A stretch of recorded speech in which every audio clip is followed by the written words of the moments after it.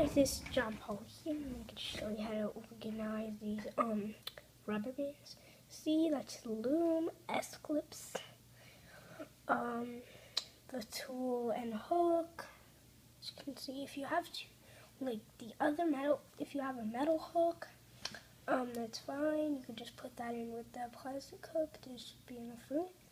I got red, orange, yellow, green, blue, purple, pink, white. Um, I don't have any black. I just have this like one broken black and three white. So I'm gonna buy some of those.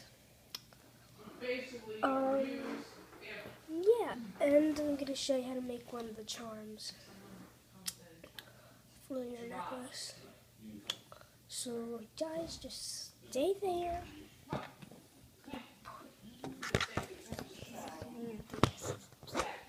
Um, a draw is fine if you don't have like so this. You could use a draw as fine, but you don't have to label it. So I'd say I'd recommend this. And besides this, you can carry around. So I'm gonna set you up guys like that. For now, let me just get this pan.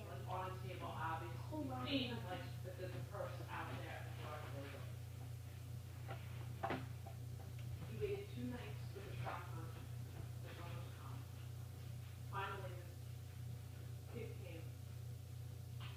Seventeen-year-old exchange student from Germany.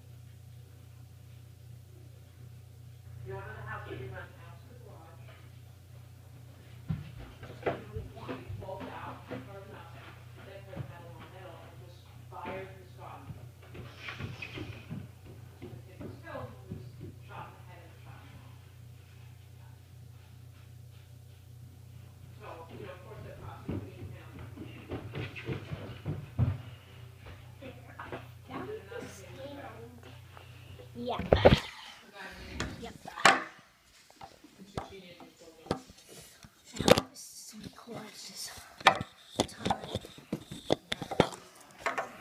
you know what? I'll have some separate video.